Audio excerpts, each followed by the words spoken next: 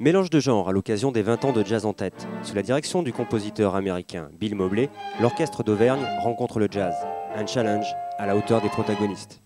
We have a different concept a lot of times of uh, Nous avons une approche souvent très différente de la manière de jouer les notes, surtout dès qu'il y en a plus de deux ou trois qui s'enchaînent. two or three notes in a row? I hope that they took it as a, J'espère qu'ils jouent cette musique dans un esprit de challenge. Une expérience et une nouvelle méthode de travail pour les musiciens classiques. L'improvisation plutôt que la technique. Une remise en question difficile. L'improvisation, ça, su- ça suppose revenir un petit peu au statut de débutant. Quand on est là, on ne sait pas quoi faire. C'est un petit peu, ça, donne des complexes plus qu'autre chose. On est un petit peu perdu.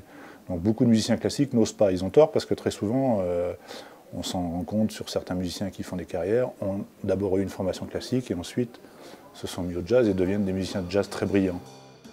22 cordes, 7 jazzmen dont Billy Pierce au saxophone et Ali Jackson à la batterie.